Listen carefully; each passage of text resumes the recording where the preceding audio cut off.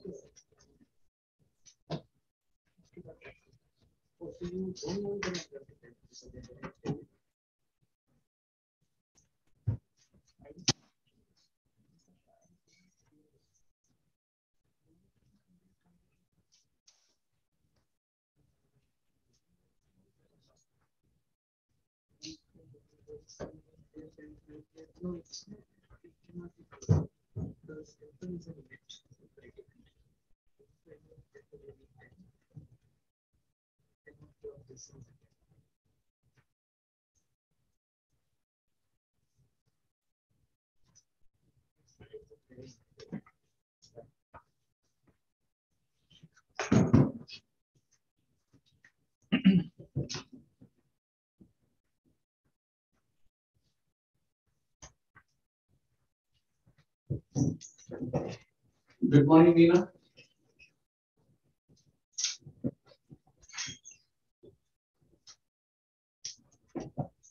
Good morning, sir. Good morning. Hello. Good, hi. How are you? Turn on your video or uh, maybe it's not convenient? No, it's okay. I can turn on my video. Yeah, yeah, okay, good to see you, at least virtually. Yeah, after a long time. Yes. So it's time, so, uh, you know, the uh, first uh, invited talk this morning is by Professor Neena Gupta, um, who's a brilliant mathematician uh, of our country. Uh, and she has been uh, bagging many awards and honors about which we are very happy and proud. She's she's an invited speaker for the ICM, the International Congress of Mathematicians, which is happening uh, next year. She recently won the Ramanujan Prize, and there are many many other prizes. But uh, uh, I'm sure you are here to listen to her. Uh, so. So congratulations, Neena, and thank you for accepting your invitation. And uh, My pleasure. uh, please, uh, you can begin your talk on finite generation of subalgebras or polynomial algebra. Is the slides visible? Yes, yes. Thank you very much. Thank you, Professor Ghorpade and the organizers for inviting me. Uh, I know this is a very prestigious conference which is being held, and we were probably supposed to have it in the previous year, but thankfully we are having now. And uh, it's good to see it's in a, a bridged mode that both online and offline is there going on. Uh, today I will talk on finite generation of subalgebras of polynomial algebras. Historically, this has been a very important topic in the research of uh, commutative algebra. In fact, uh, even before the beginning of commutative algebra, this has come into the structure. So this is a joint work with Professor Amartya Kumar Datta and Nobuharu Onoda. In fact, this is a follow-up work of one of their papers uh, on this finite generations. So we have uh, just extended this results to two dimensional complete local ring. So let me give you a brief uh, summary. So introduction. So uh, for me, all my rings are commutative rings with unity. And uh, there are experts in the audience, but still for the sake of general audience, I am fixing some notations. So for me, throughout the talk, K is a field. K bar is the algebraic closure of K, and C is the field of complex numbers. By domain, I mean an integral domain. And by K domain, I mean an integral domain containing the field K. So, and for an integral domain R contained in uh, ring A, A equal to R square bracket N would mean that A is isomorphic to a polynomial ring in N variables over R.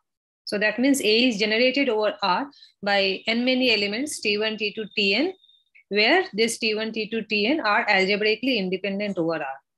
So with this notation, let me first pose a very simple question.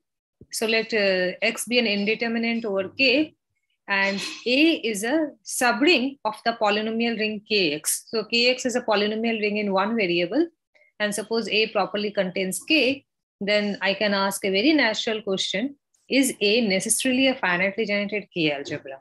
So Kx is finitely generated.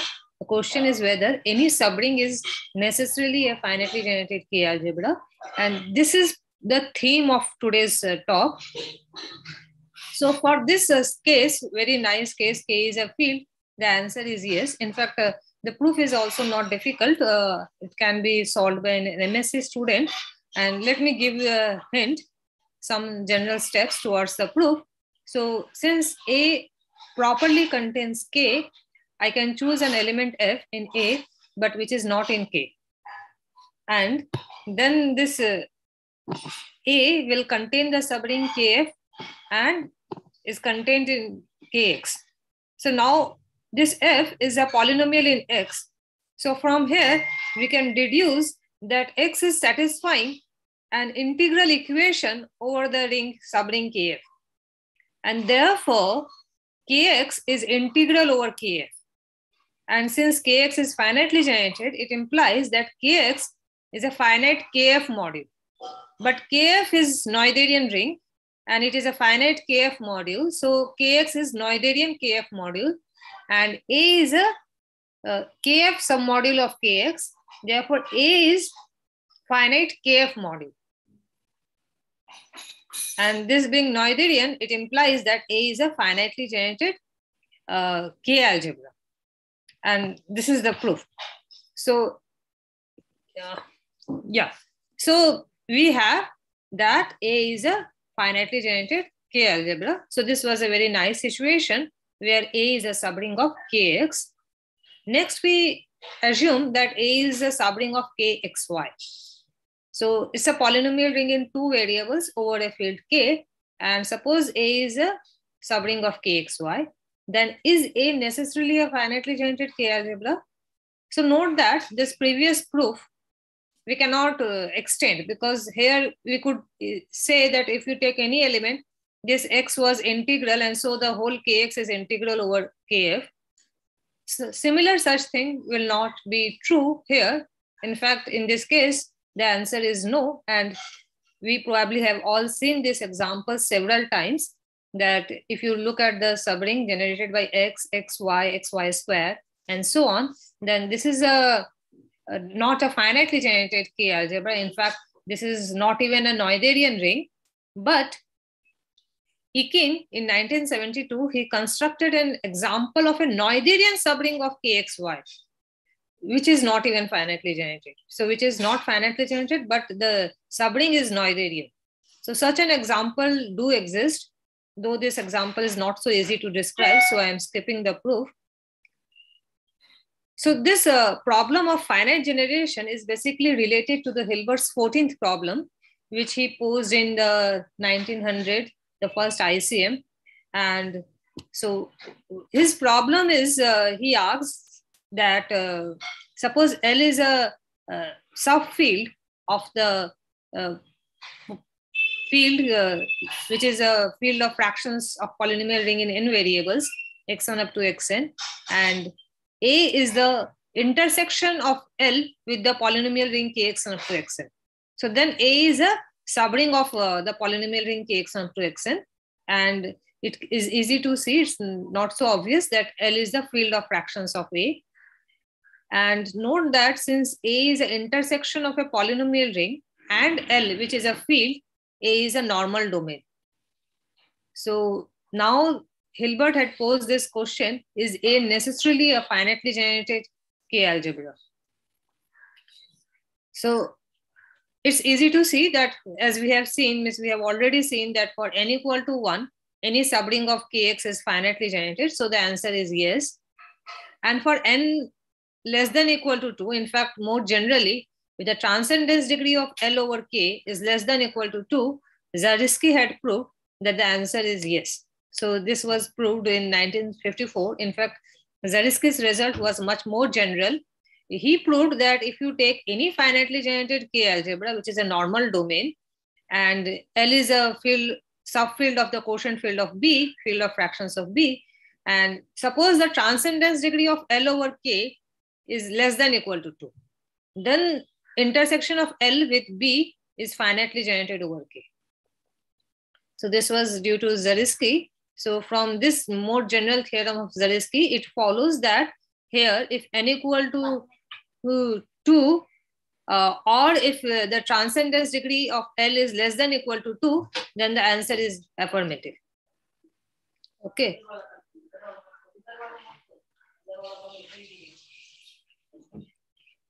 Now, so this was so far where the transcendence degree of uh, L over K is less than equal to 2.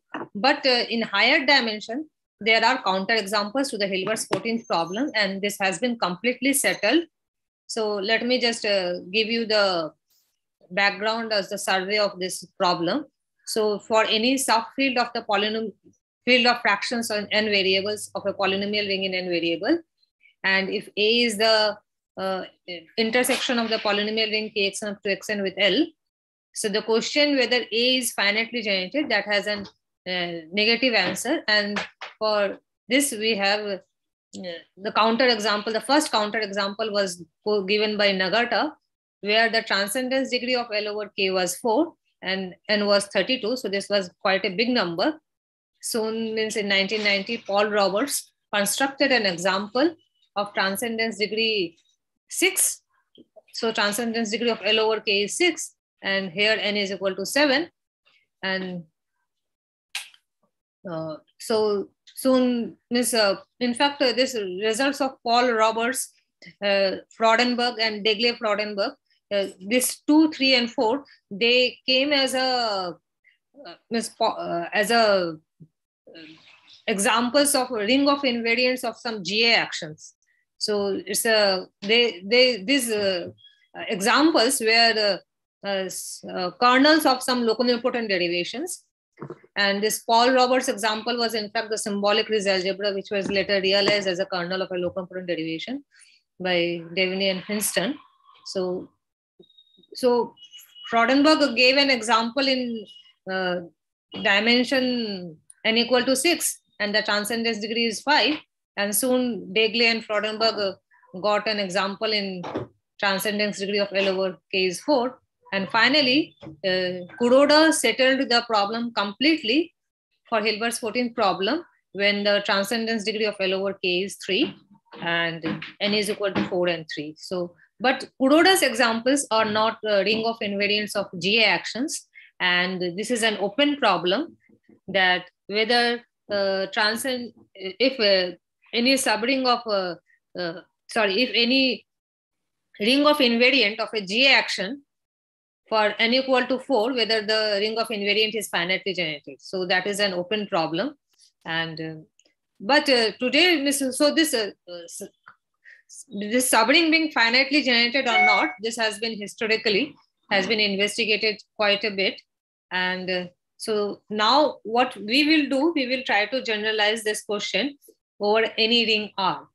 So this was a problem which was posed by Professor Onoda and Amartya Kumar Datta. So they considered any ring R and a subring of uh, R and Rx, a subring of Rx containing R.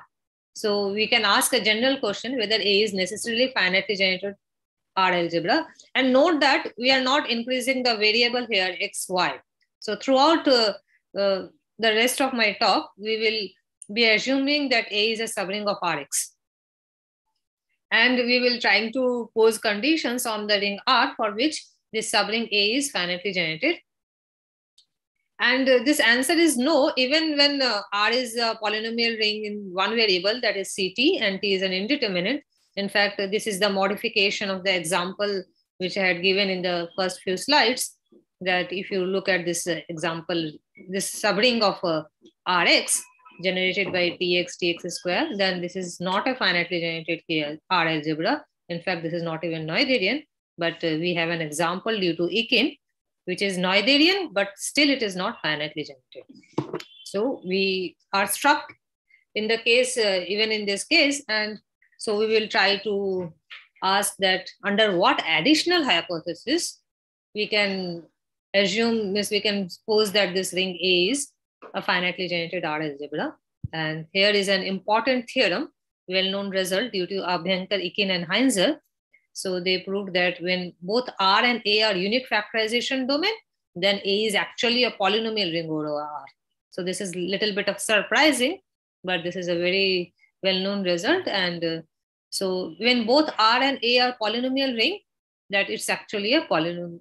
Sorry, when R and A are both unique factorization domain, then A is a polynomial ring over R. So this is a very nice result.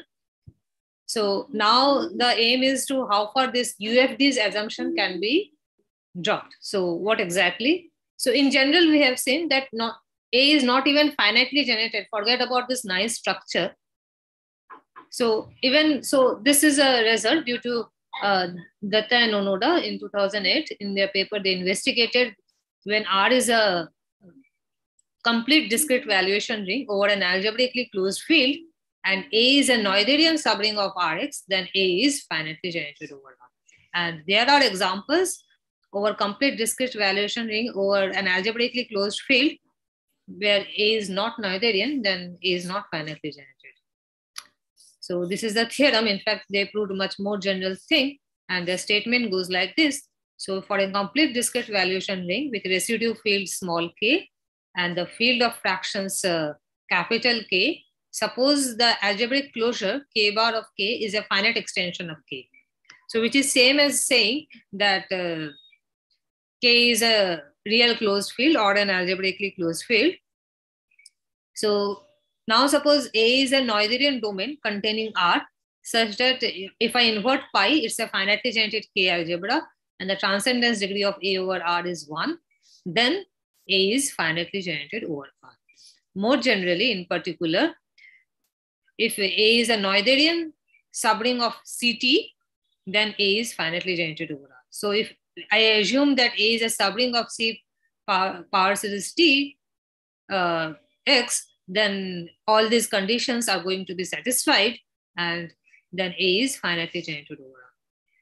Now, so this is the theorem of uh, Datta and Onoda that when R is C power series T and A is Noetherian, then A is finitely generated over R. So we can ask the question, what happens if R is C power series UV? Means instead of uh, uh, increasing the variable here, how about increasing the dimension of the ring? And suppose A is a Noetherian ring, is then A necessarily finitely generated over R?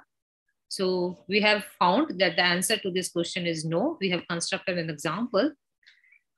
So Datta and Onoda have also looked at locally factorial Noetherian domains.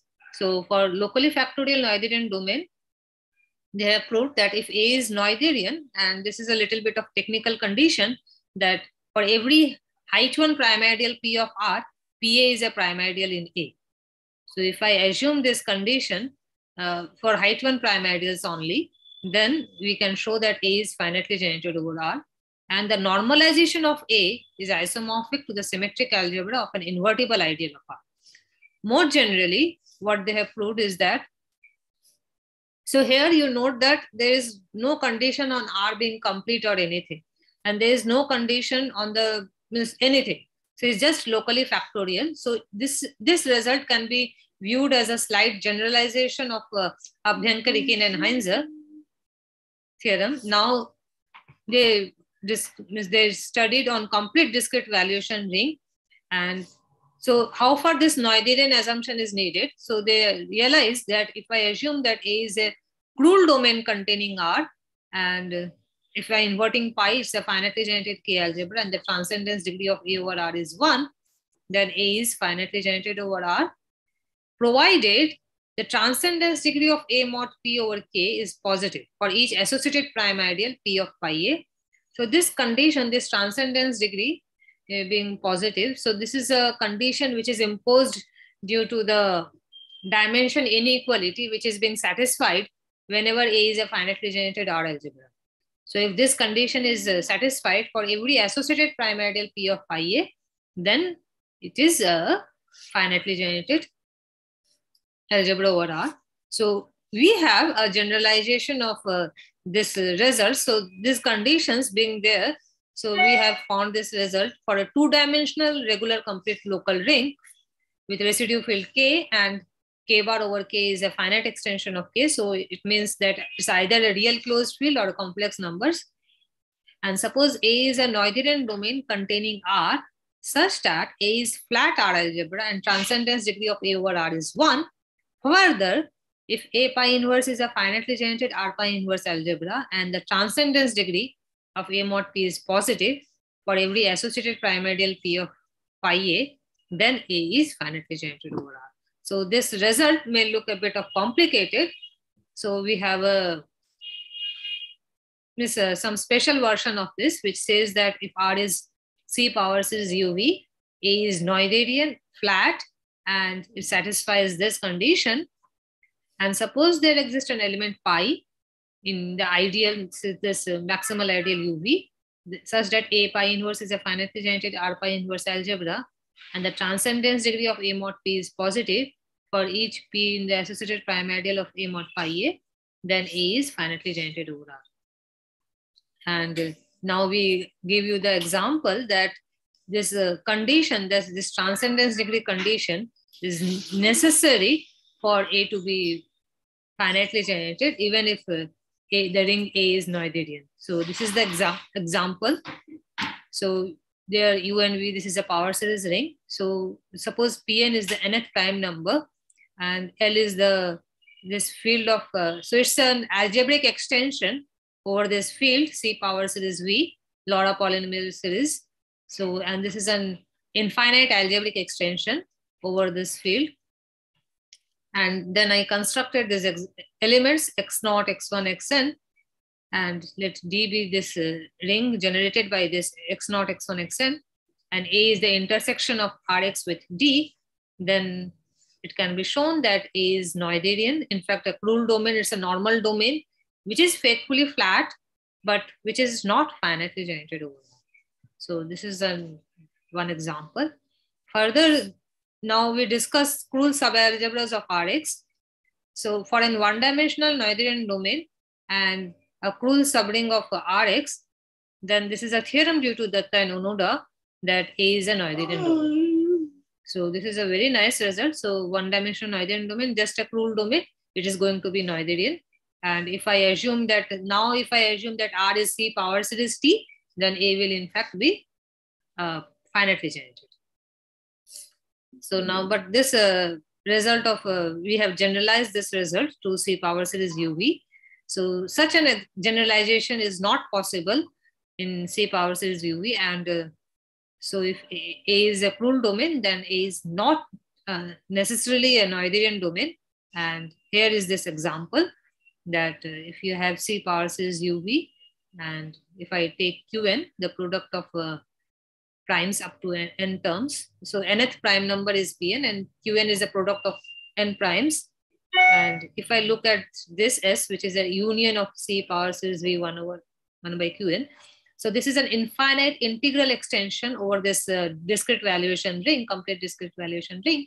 And this is your adjoining Qnth root. And if I look at these elements and the ring generated by this x naught, x1, xn, and A be the subring of uh, Rx, so it's D intersection Rx, then uh, A is a Krull domain, but it's not a Noetherian ring. So I stop here.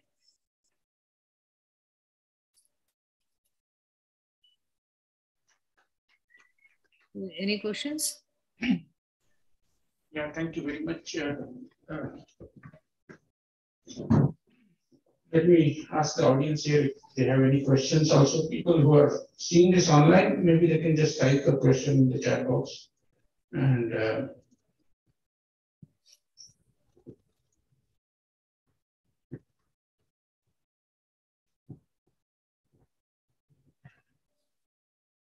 so,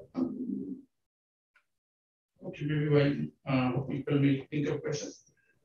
So I suppose it's not necessary that you just take the sequence of all primes, probably any sequence of prime numbers uh, which is going to infinity. Yes, yes, yes. Right? So it's basically, a, uh, I wanted to, miss, you may skip some prime numbers, that doesn't matter. Right. So you want an infinite list of prime numbers. But an arbitrary, strictly increasing sequence won't work probably. Any arbitrary increasing sequence should work. It's, it's The only thing which is needed is that you need an infinite sequence of prime numbers. Infinitely many prime numbers. Mm -hmm.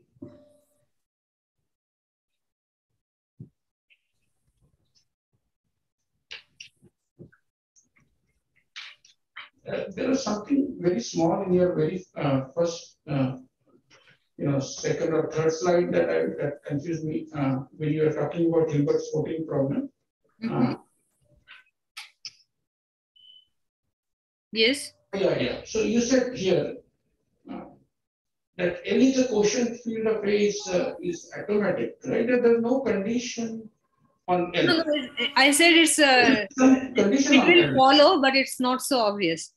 No, I mean, for example, if I take L is equal to K, uh, that meets your hypothesis, no? I mean, there's something is missing, right?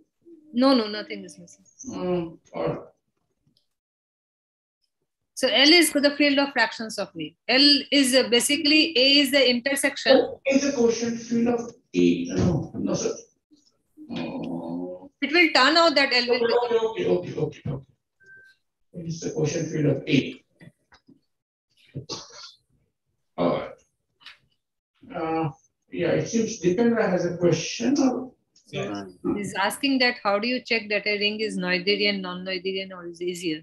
So that checking is not so easy. In fact, uh, that requires a lot of work. So what we do is that we use some criteria like this is a theorem of Cohen and Isaac that uh, some ring is Noetherian if and only if every prime ideal is finitely generated. So this is one of the results. So we use that criteria and then reduce some lemmas from that. So in most of these examples, we have that if I invert pi, the ring is finitely generated. So in particular Noetherian. So the only prime ideals which we need to deal with are the prime ideals which are uh, contains pi. So that of course requires a work and of course, it's just not that after inverting pi, those prime ideals are finitely generated. That does not imply that uh, before localization also the prime ideals were finitely generated. So it, it's a work. It's a work. I mean, uh, am I audible? Uh, yes, sir. You're completely audible. Yeah, so this problem of finite generation uh, is closely related to uh, another of Hilbert's problem about uh, ring of invariants, no? Yes, yes, yes. And um, uh, for ring of invariants, being Noetherian and being finitely generated are the same? In some cases, yes. When there is a grading, uh, homogenization grading, then this is Noetherian and finitely generated are same. Okay. But in the case of group actions, it is a graded object? Not necessarily not always. So you not always you will have a graded object. Because fact, you, you ta take a re representation of the group on a finite dimensional vector space and you look at the polynomial algebra and the invariant so that's not so it depends uh, which group are you working with. Means if it is a reductive group those problems have been completely answered. So reductive mm, groups the ring of invariants no any any subgroup of glv operating on polynomials on v Okay, so there are unipotent groups. Yes, yes. Yes. So, so that they, for them, the ring of invariant is not necessarily finitely generated. So this was a, graded rings.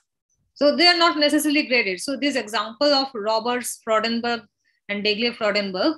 So here the ring of invariants are not finitely generated. So here the group is the additive group G, K plus. Mm. So here, these uh, subrings are not finitely generated and they are not even Noetherian. But I don't think uh, in, imposing Noetherian will help because, uh, okay, yeah, so far I don't know any Noetherian example. I mean, the question is, is whether Noetherian and finitely generated are the same for the ring of invariants. Yeah, miss, uh, I don't know because uh, in these examples, they are not even Noetherian. But uh, yes, yeah, let me try to understand. Yeah, so Noetherian is uh, even, miss, uh, yeah, at least these examples are not homo homogeneous. So the ring of invariant of a GA action is not necessarily homogeneous. So they're not necessary. So this Noetherian will imply finitely generated. That is, Miss, I don't know whether it's true. I, okay. I have not seen any example. I mean, since the table is here, uh, there could have been cases of 3 comma 2 or 3 comma 1. 3 comma 2 is not possible, right? Because of the theorem of Zariski. 3 so, comma 2 is not possible. Zariski transcendence degree of L less than equal to 2. So okay. they are always finitely generated. Okay. Is this theorem of Zariski related to Lüroth's problem? Lüroth problem, mm, not exactly. If I if you are talking about Lüroth's theorem, then I know that uh, then L is KT, but uh, I mean, the Lüroth's problem is that any subfield of a purely transcendental field is purely transcendental. Oh, oh, yeah. So that that is, uh, I suppose that has only affirmative answers for L less than equal to two, and that two only in characteristic zero. So in positive characteristic, there are counter examples, right? Mm-hmm. Yeah. And over algebraically closed field. And yes, over algebraically closed field. So. Okay, so this is uh, not quite of the same flavor, although it has. Yeah, but of course, you need an affirmative answers to the Lüroth theorem. Uh, otherwise, the finite generation. Okay, yeah, I think finite generation is first needed. Then you talk about the field of fractions having some structure. Hmm. So Lüroth theorem is very, very strong, as you are asking, that the subfield is a transcendental thing, purely hmm. transcendental. So that is a very strong statement, right? it, it may be related in some ways. I think Zariski yes. uh, also did that and may have done it in similar years. Yes, I maybe. do not know which year Lüroth's problem was solved mm -hmm. for dimension two. No, that was Castelnuovo. That was Castelnuovo. Okay, but maybe Zariski gave uh, another proof or? Uh... Yes, it is called uh, Zariski-Castelnuovo theorem. Yeah. Somehow in my memory, Zariski's name is associated to the Lüroth problem. Actually, Castelnuovo, those uh, those days things were not that formal. Yeah, okay. So Zariski, uh, I suppose, made it uh, rigorous uh, in by our standards, something like that. I, I actually don't know the proof, but it is called Zariski. You are right. It is called Zariski Castelnuovo or Castelnuovo Zariski theorem. Okay, good, good. Good. No, beautiful talk, uh, Neena wonderful mathematics. Thank you. Yeah. just one comment I'd like to make that uh, yes. there is a condition that height one primes will remain uh, height one uh, if uh, there is a theorem. Yeah, this condition, this uh, height one prime ideals, this PA remains a prime ideal. So this will be pleasant to look at if you if you just think of R as a UFD. Mm -hmm and A as UFD, then it just says that uh, a prime ideal in R remains prime in A. Uh, not hmm. prime ideal, prime element. Prime element. Height one prime ideals will become prime and, element. Now, uh, the hypothesis reduces to P, uh, uh, element P being prime. Mm, okay. The height one primes are principal in your UFD. Yeah. So this condition may not look that uh, unnatural because in a UFD, this is automatically forced.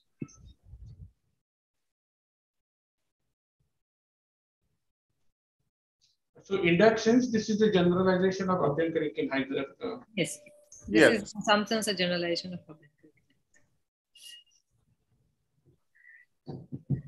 Are there any further questions? Maybe I'm missing something, but what if we take R to be a regular ring here? So of course, the regular ring will not help, right? Because uh, you, you, start with uh, polynomial ring CT, you have counter example. Right, right. So even with CT, you have a counter example. And Ekinhead Noetherian subring of A is also not finitely generated. So you need to have some more hypotheses. I see. thank you.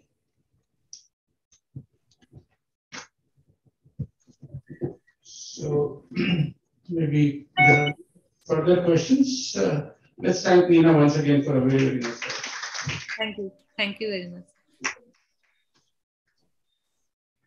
I stopped sharing the screen. Yes, please.